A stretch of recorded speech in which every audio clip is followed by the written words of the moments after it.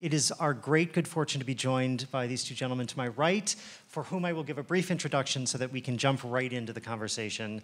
Um, to my immediate right, David Goldman is the founder and chairman of the Fellowships at Auschwitz for the Study of Professional Ethics, or FASPE, more information about which is in your program.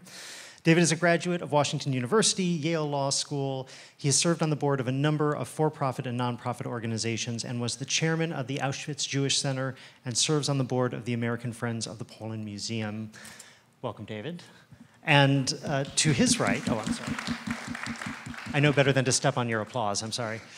To his right is Father Steven Bell, who was the associate pastor of Newman Hall Holy Spirit Parish at the University of California at Berkeley.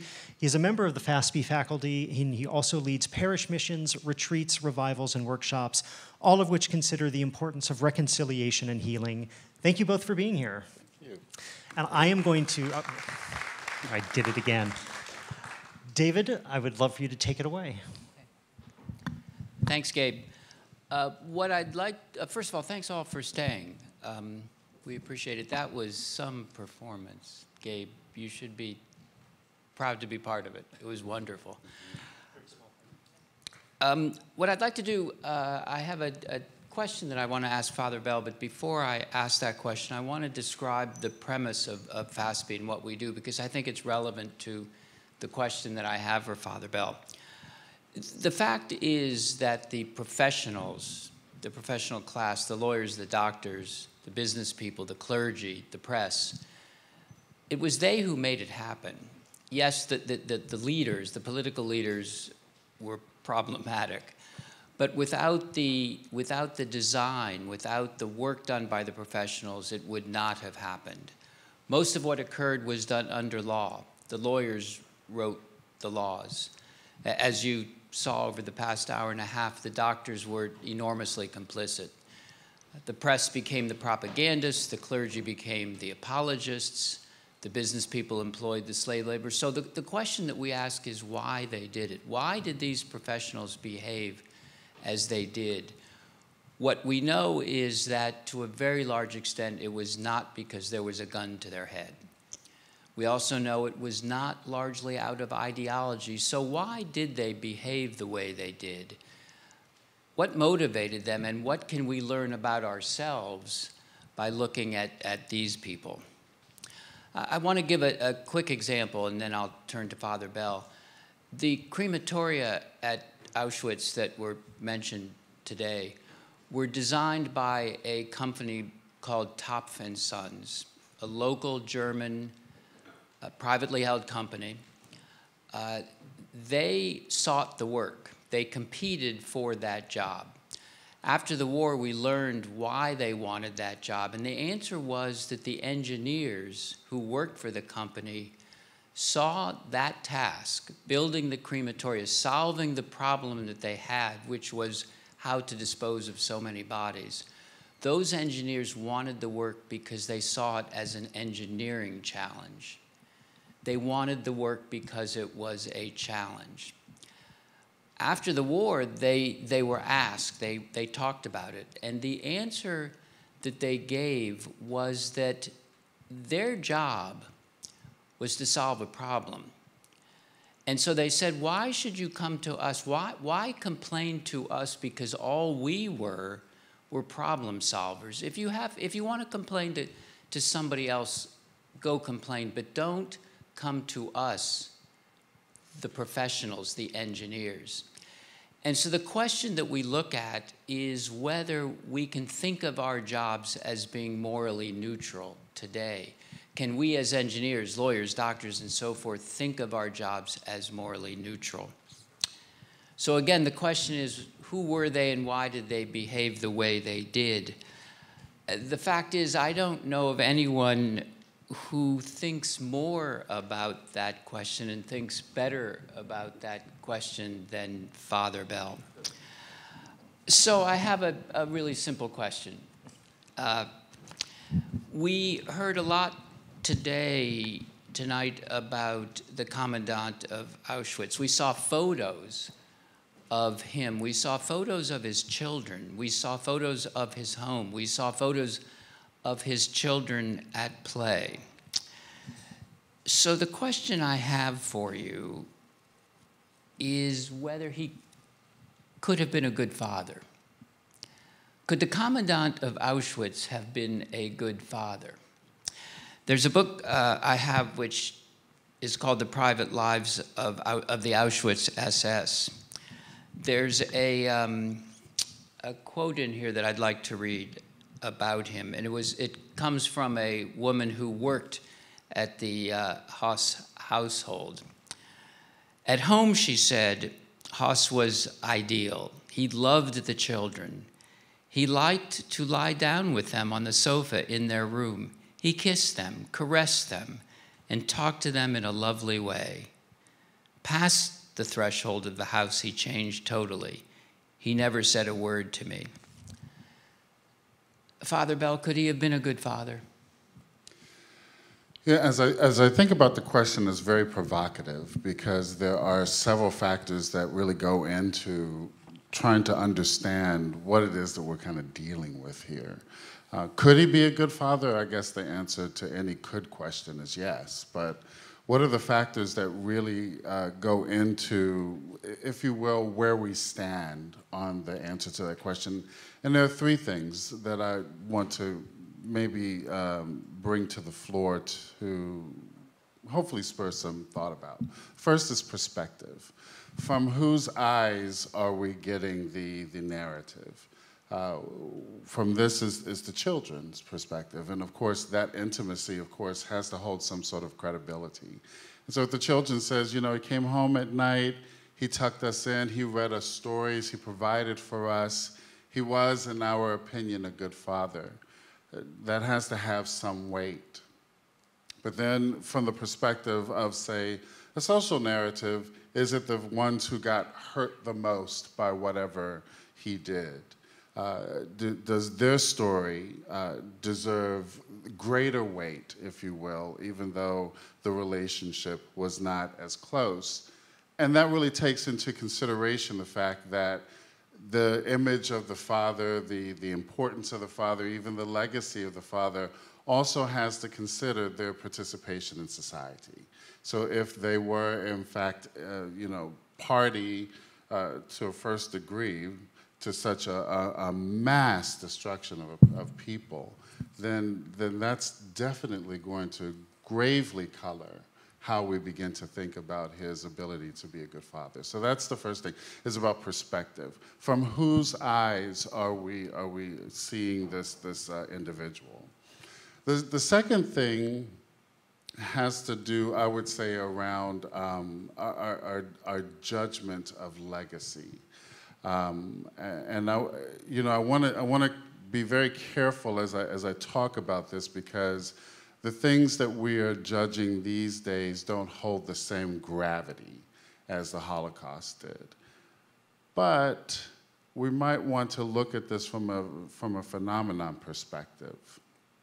When we looked at, uh, at, you know, during, during COVID, the toppling of many statues of people that were erected at a time when we hailed them as heroes. We saw them as worthy figures, as examples and mirrors to follow. And then our research and our, and our understanding of their participation in, in, uh, in our society's life was not so great. And in fact, in many cases, were, was pretty horrifying. And so now, as we begin to judge their legacy, the basis upon our judgment, the criteria, the actions, hold different weight. And so we have to consider that as well. I'm not going to go so far as to say it's capricious because it could be very developmental. The things that we knew in the past, uh, or, or, the things that we know now, rather, are different than the things that we knew in the past. They, they've, they've, uh, we, we've had an opportunity to, to let them gel, to let them marinate, to see just how much they do reflect the kinds of values that we hold in a person that we would revere, say, for instance, a father. And then the third thing is, uh, as I I, think might be the most controversial, and that is um, how many narratives uh, do we make room for? Whose narratives do we make room for? And what kind of, uh, of, of, weight are, are, we actually giving those kinds of narratives? And so when we, when we think about the fact that there has to be story that helps us to really categorize, uh, or, or not categorize, but bring into a greater dimension this person that we're referring to, we have to look at this from a wide, from a wide angle. And then it gets very complicated. So it's not just the children saying he was a good man and just the victims saying that he was a bad man. We heard several examples of, uh, of, of inmates, prisoners in Auschwitz coming up to Mengele, or coming, sorry, coming up to um, Wirths. Wirths, thank you, to Wirths and saying, uh, was basically telling him that he was, in, in a sense, a, a, good provider. He was a healer. He was uh, the one that was saving them from a, from a worse fate. And so, is there room for that story in this, in this characterization and this understanding of this person? Um, is there room for the, for the story of the family member who, for whom this person got on their last good nerve and couldn't do anything right, you know? Uh, so really kind of looking at that, how much space have we actually made for the various narratives to come in? And so that really, it, it, it, pre it presents to us a pretty horrible challenge and reality that I do think at this point in our, in our history, we're really just starting to come to terms with. Well, I admit, as the father of three children, I'm sort of curious about the answer to this question. Not that I want to compare myself, uh, but, but I want to talk about your second category. Mm-hmm. Are you suggesting that when we think of whether it's the commandant of Auschwitz or others throughout history, that we should be thinking about them and their behavior in terms of the times, in terms of, of, of what was accepted or not accepted at the time? I don't know if we can stop there because we have to consider that the, you know, that the action at the time was thought of uh, in a particular way, but with greater awareness, with a greater, and I'm sorry, I got to throw a religious word in there, uh, otherwise I wouldn't be worthy of wearing this. Uh, greater discernment, really kind of, uh, uh of looking at the re reality and the impact of that reality on us today. I think it just takes time. It really takes time. And so I don't think that we do a service by saying, well, that's what we did back then, because I don't think that that's the whole truth. In fact, I think that's only part of the truth. The other thing is it keeps the, it keeps the, um, the awareness of the action in more of a you know, black or white uh, perspective as opposed to really looking at some of the nuances that were also in play there. I want to move on to a, a, a somewhat separate question. But before I do, and, and, you and I have had this conversation only 130 times maybe, and, and I should add that, that, this conversation came up because of a question that Moises Kaufman, the, playwright and director, uh, asked me uh, four or five years ago when we were first talking about the play, and he asked me whether I thought he could be, a, uh, could be a good father. I, I look at this again, as a father, perhaps, as a flawed father. Um, and I, see the answer as being quite simple, which is if my children can say, my father, though flawed, was a good man, I'm comfortable with that. And when I look at the grandson of Höss, it seems to me that he's making that same simple point as well. No matter what else, I can't think of him as a good man. Mm-hmm, mm-hmm. How, do we? How do you feel about that? I, I think there is a multiplicity of ways of dealing with the sins of the fathers, and we saw that exemplified several in several different ways in the play. So, is it that we are uncovering the story to to um, know about it, but then to, in some ways, kind of hide it again? Are we using the, pro the process, I'd say, as, um, as Höss did, which is called uh, transgressive reinscription, kind of taking, keeping the last name was very um, prophetic, if you will, and, and an act of, of resistance that we probably wouldn't necessarily consider, except that he's trying to redefine what that name stands for, uh, and him taking it on and crediting it, crediting it as his best revenge is, is, a, is a great demonstration of that. But, you know, we also we're hearing many stories from a past generation that would hide these stories. We just don't talk about it. This is not, uh, you know, the ugly histories, um, are, are we're, we're, paralyzed by them. We, we don't have the kind of language that we need to be able to match such horrible actions, first order, secondary participation, however far, if there was a connection to it, we don't have the language to be able to talk about that and at the same time maintain some sort of either cultural, sociological, family, or personal respect and, and love for the person. Uh, which is, you know, I think this is one of the great gifts of art because I think that the only way that we currently have to talk about this right now right now is, uh, is through artistic expression, music, poetry, the theater. Um, I do, however, have great hope. So let me, let me also say that. And let's just, I just want to kind of put this alongside one thing. If you think about when African Americans were integrated into society uh, after the Civil War, it started with a language of tolerance. And so we, we started to say, you know, we have to aware, we have to become aware that the space needs to be bigger now. The space of acceptance has to be bigger now, and we use that language of tolerance to be able to actually begin to make that space. Well, that was back then, and I would say that tolerance kind of ended its, uh, its, its greatness probably around the 70s. And then it became about inclusivity and now it's about acceptance. And so, really, kind of looking at how that development uh, uh, goes on, as long as we continue to talk about it and engage it, and see this as more of a human issue as opposed to something that those people did. I think we'll also get to the point where we can have the language to, to talk about this. I think to Father Bell's point about the, the role of art, uh, I, I, think it gets to a maybe a, a more important part, which is the importance of history and the perspectives that history provides. So we can look at this period and we can look at these people and wonder about ourselves because we can see ourselves through them, not to humanize them, not to excuse what they did, but to, to learn about ourselves. So I want to talk about a, a comment that was made in the play about compartmentalizing. Uh, which is, a, a, I think, a, critical component of how to think about these people. Is it possible to compartmentalize? Can, and, and what, yes, it's possible, but what are the implications of it?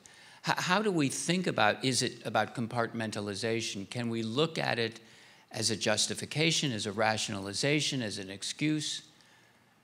H how should we think about it? And not just for these people, but for ourselves. Mm-hmm. So uh, George Stanton, who's a professor at George Mason University, actually runs a genocidal theory, if you will, department.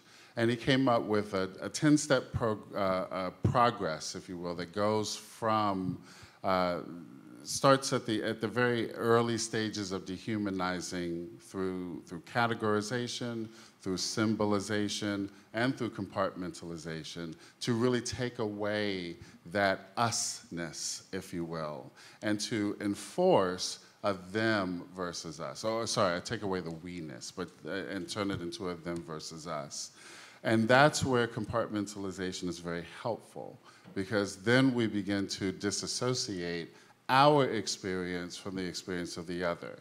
Now, what was really uh, wonderfully uh, said by the, by the uh, museum curator who had the album is that when we think about Auschwitz, and particularly think about it from uh, the perspective of how the uh, memorials are presenting uh, the, the Holocaust, it's about having us to give back the humanity to those that the Third Reich was, uh, to those whose humanity was taken away by the Third Reich.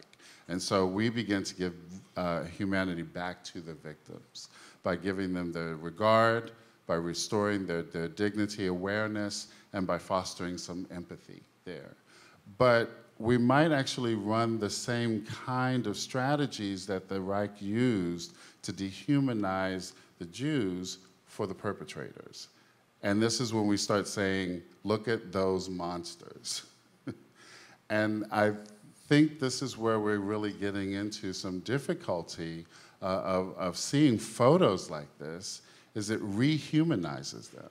And so no longer can we look at them through the glass, rather the glass turns into a mirror.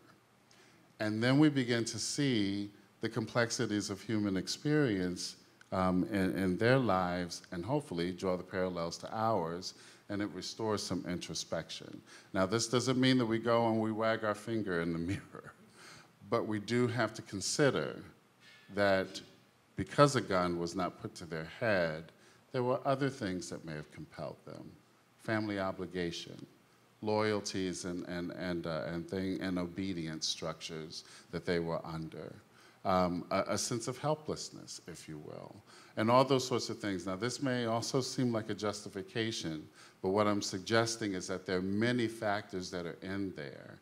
And if we are going to persecute them, rightfully so, we also have to take a look at ourselves and how and what is what we're participating in. So, sorry, may, may I just elaborate? Uh, ask because uh, one of the I love everything you just said. And there's the part in the play where they talk about how responsibility was dispersed amongst many.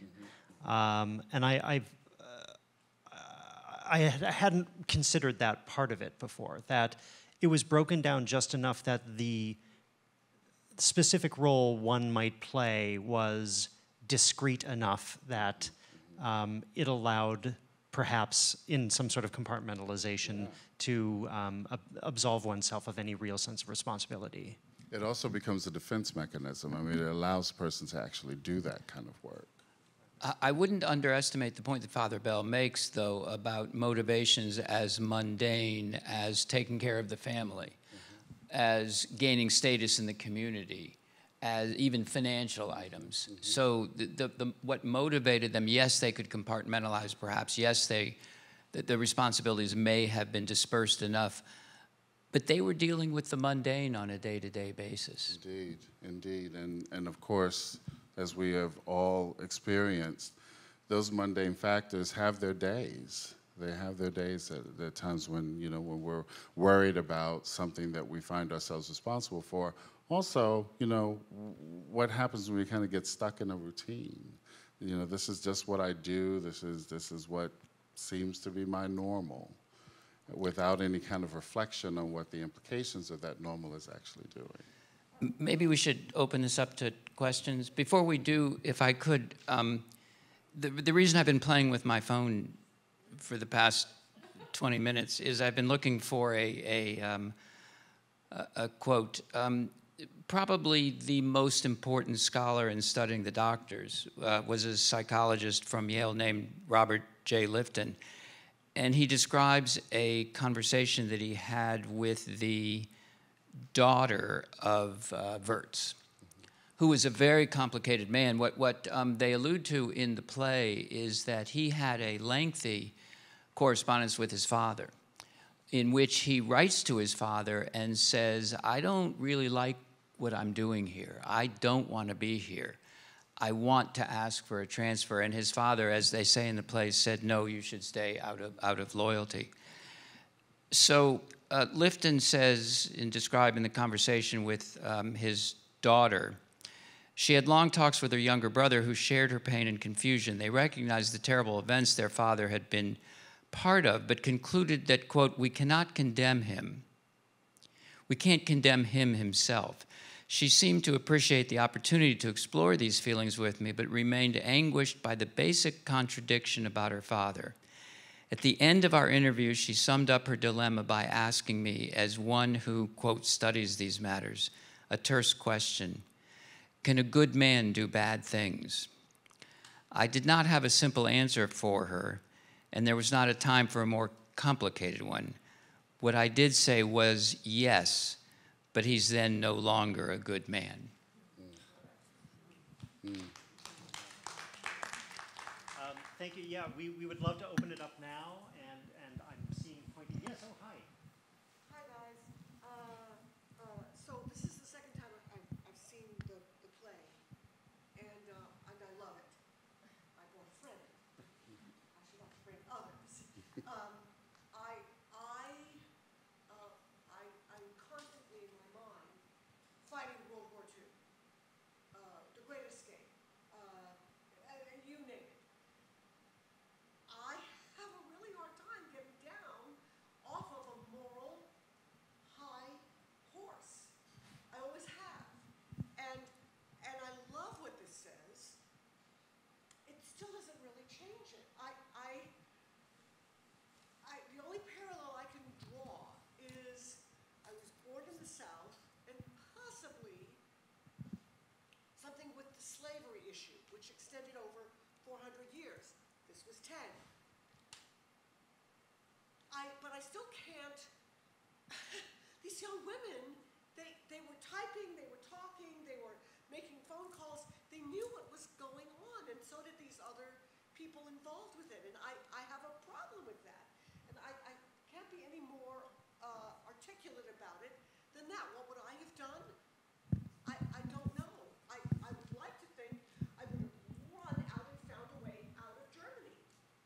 If I had been on that ramp and I had seen these people being shown which way, I might have thrown myself on the, on, on, on the tracks. Because how do I live with myself? I, I, I think it's just dreadful. And I can't get beyond that. Thank you. Well stated. I, I just would ask um, or invite you to let it soak in a little bit, and, and particularly, particularly considering how the firm was actually formed before they even took the job. So really looking at uh, their community. These are also young women, so there, there's going to be. Uh, how shall I say, much more of a, of a, of a close knit understanding of identity is going to be based on the people who are around us. And when the propaganda from World War II, or particularly uh, around the uh, supremacy of the German race, and all of those others were threats to it, what that actually does to a young mind, a young impressionable mind. So just, just maybe, uh, I'd be very curious to have a conversation with you in a, in a year, you know, because these things take some time. And I think right now we, we just have to still kind of grieve, get over a little bit of the anger that, that came up, I'm sure, but, uh, but not really come to some conclusions about changing our way at, thi- at this point. At this point, I still think marinating is, is a good way to go. I, I hope that helps. I really do. And, and the playwrights are not asking you to forgive these people. Indeed not. And the playwrights aren't asking you necessarily to humanize them per se, but I think they are asking you to look in the mirror. Um, not in terms of whether you could commit those acts, but to understand what is possible for all of us in our day to day behaviors.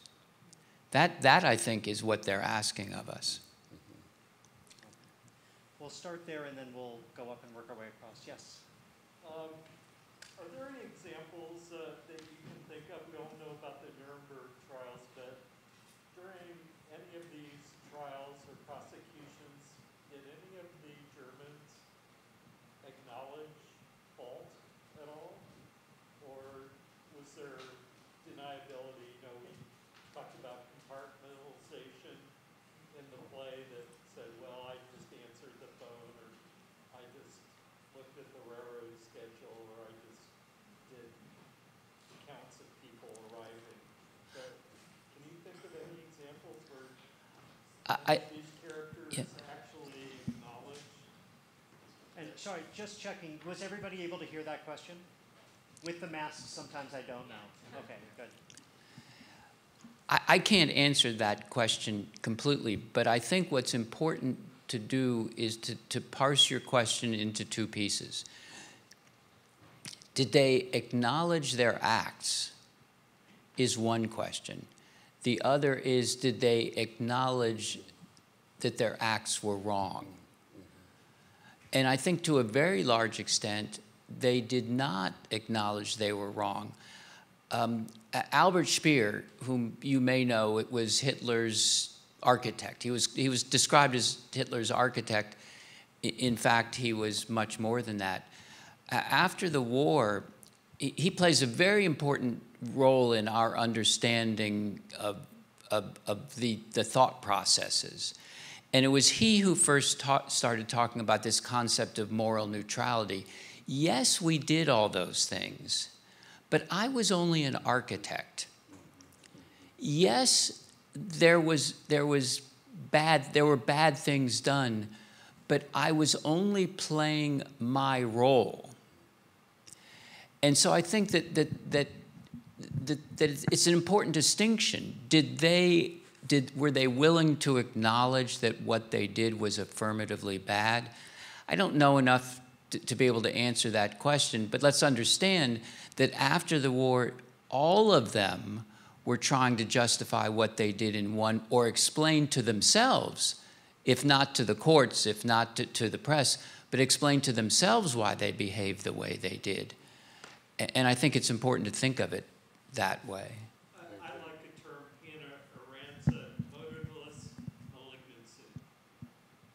Say the term again, I'm sorry. Motivless malignancy, Hannah Arendt. That's a quote from her book Yeah. in describing some of the attitudes. Yeah. There was, uh, yes, right? Go ahead. I, I'm sorry, I, if you could help me a little bit, the, the very questions you keep asking and trying to answer all relate to good. Could you please define for me what good means when you say a good man, a good father? And once you define that, are you saying that that permeates every aspect of their being and every behavior they have? And if they violate that, that that's now bad? I could- I'm, I'm just, I just don't know what you mean by good. And I think that's part of the question, uh, really is, because um, the, the judgment aspect of this is going to have these different factors. So I do think that when you ask the, the, the children, was he a good father? And if you look at some of the pictures, if that was the accurate description of their lives on a regular basis, they will probably say yes, because their understanding of good or their, their, their working definition of good is around, you know, he provided, he kept us safe, he, you know, all those sorts of things.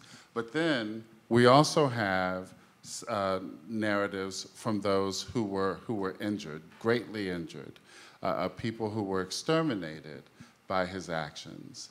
And so their notion of good, of course, is going to come from, from, their, from their subjective experiences. And so that's what makes it, such a provocative question. But I want to um, draw, draw just a, a, bit, draw out a little bit about um, how the judgments change. Uh, again, you know, with, with, the, with the statue toppling and, and cancel culture, I don't like using that word normally, but I think we all know what we mean when, when we say it. And so, for lack of a better, under, a better word or a better term, with cancel culture being a real thing and being a great fear for those who are you know, in the professions as well as anybody that happens to be a social media, um, one has to wonder, you know, when, it, when is society going to change their opinion about me? And what will it take? Is it uh, an occasion when I, when I uh, show my control over somebody who has been oppressed? Is it uh, when I have participated in some way in, in, a, in, a, in a force or, or an issue that now, now today has much more attention than it did um, a long time ago. I was going to buy a ticket and go to SeaWorld today, and I thought about my niece complaining to me about all those whales that they have trapped. And so I'm thinking, 20 years from now, if that becomes like the greatest sin that we're holding on to, then I become an evil person. So I I just, you know, there is, there is a wave effect of this. The judgments don't last forever, it seems. And so we have to consider that as part of the, part of the question. And so for me, um, for me, I- I think that good is, does not have an objective answer, as you said. Um, ethics doesn't have an objective answer. In, in fact, that there is a concept of Nazi ethics because what they thought they were doing was, in fact, ethical. There's a, there's a wonderful wonderful may not be the right word. There's a fascinating speech given by Himmler in 1943 uh, to, to the leaders of the SS, and, and it's recorded. Hitler, uh, Himmler liked to hear himself speak. Himmler was in charge of the SS. And in it, he says, What we are doing is really difficult. It's uncomfortable. It's, it's awful. But we are the moral force. We are the ethical people. And so we have to do it. He goes on to say, however, if I catch any of you stealing one mark from these Jews whom we're killing, one fur, one piece of jewelry, one cigarette, off with your heads. We don't do those kinds of things. So, uh, as I think about the, the, the good question, I- think that what it challenge, challenges each of us is to ask whether what we are doing is in our minds good. We can't control how other people think about that necessarily. But I think the question is can we feel comfortable with what we did? Which doesn't ignore the fact that they did. But the best we can do is ask that about ourselves.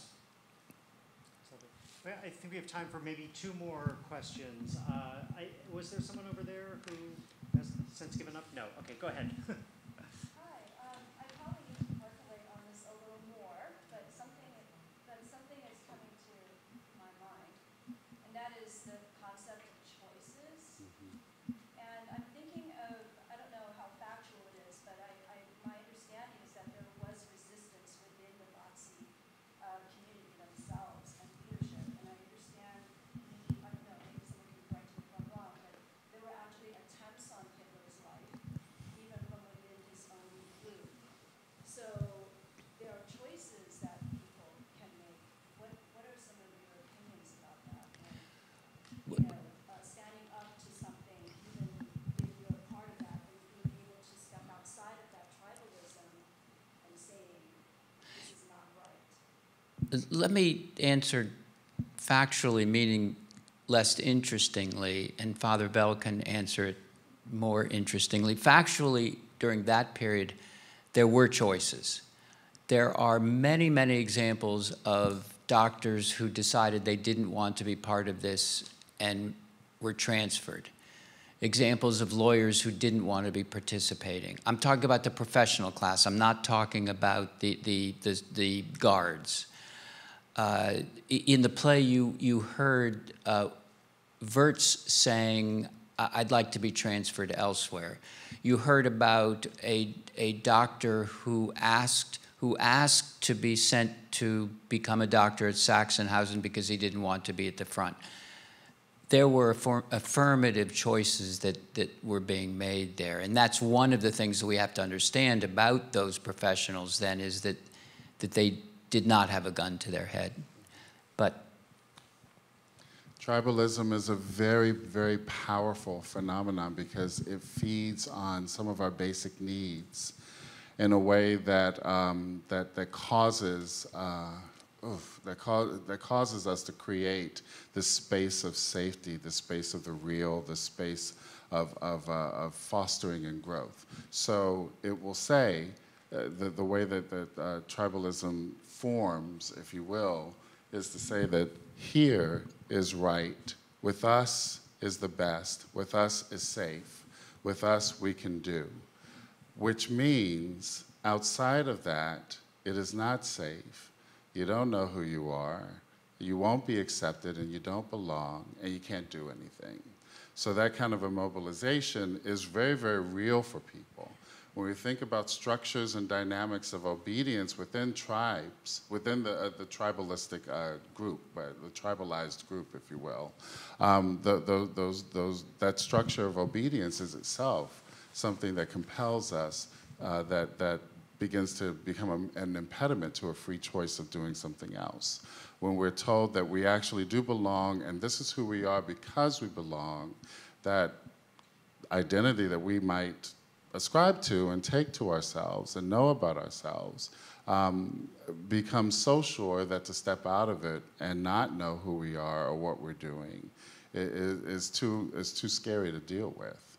And also, the big thing is if we can move together as this group and to do something that we feel is right, that, that actually highlights and forwards our values, then the opposite about not being in the group and not being able to do anything becomes another fear. So I just want to say that the, you know, that the, that the, that the effect, the effect and the affect of tribalism uh, uh, is very, very powerful. And so it co-ops and, and presents a myriad of impediments to what would otherwise be a free choice. One of the, the professions that we look at is the design, the designers, design profession. And one of the interesting things to think about is the SS uniform. Uh, the SS uniform was this really cool design. And the, the, the people who had the, the, the, the right to wear it became part of the in group. And so when we think of the ethics of design and then think of the tribalism that, that goes along with being part of the in group, it's, it's, it's enticing. Yes, indeed. It is. Uh, okay, one, one last one, and then I'm, I'm afraid we have to call it a night. Go ahead. Father Bell, going back to the topic of this talkback, um, I'm very curious. I'm, I'm Catholic, so maybe this is going to be one of the most religious words. Um, atonement. Yes. What, if any, is the responsibility of the, the son, the child, the grandchild, et cetera, those who currently occupy Germany, um, whoever you want it to be, to atone for the sins of the past? They didn't carry them out. Maybe they didn't even know they were happening if they lived during that time. And I think we're struggling with that in this country with the idea of reparations. And why didn't you put it, it's not on me. So I'm curious from that perspective and, and everyone's take on that. Right. So part of the um, my thought about this is, uh, strangely enough, even though I, I, I talk a lot about reconciliation, is I think atonement needs to be uh, first of all it needs to be watered down a little bit, and the whole notion of forgiveness uh, needs to be taken off the table for for a moment, because I think it's about how do we actually sit with what's going on now, and having the processes to deal with that. Um, I do believe that any kind of struggle to, to manage the reality of a family member who we have revered in some way turning out to be, in, in, in, a, in a very real case, monstrous in what they've done. Notice I didn't identify them as a monster. Um, really holds within it, holds within it a desire for the atonement. And so if that is the truth, then we can take it off the table right now and deal with what, you know, with what's percolating. So um, that being the case, I think that there, again, there, there has to be some, some good language that, that has to be developed to, to really begin to talk about where folks are. Some great processes uh, are starting to come out right now, really starting to come out about nonviolent uh, communications, uh, compassionate yet prophetic listening. These things that have been institutionalized and used as strategies and tactics from the Truth and Reconciliation Commissions, so we can kind of come face to face with what's actually happening. Now, this is of a new, I mean, uh, the newer generation are the ones that are really taking that by, you know, by storm because the older generations, we're, we're, we're kind of still stuck in that, well, uh, you know, we're still paralyzed by shame, and shame that is mutated into this monster of silence and hiding for the benefit, for the benefit of either family, personal identity and purpose, cultural norms, social acceptance, all those sorts of things. So it's all mutated, and so we have to find a way to be able to, to, to walk that back and to be able to have the dialogue in ways that are, that are, that are enlightening without at all watering down the wrong because I think that the gravity of the, of the wrong has to be on the table, has to be talked about. Does that help? Okay. Thank you. So I, this has been an amazing talk. We could we could do this all night, but we won't. Uh, but Father Bell, David, thank you so much. Thank you all for joining us for this.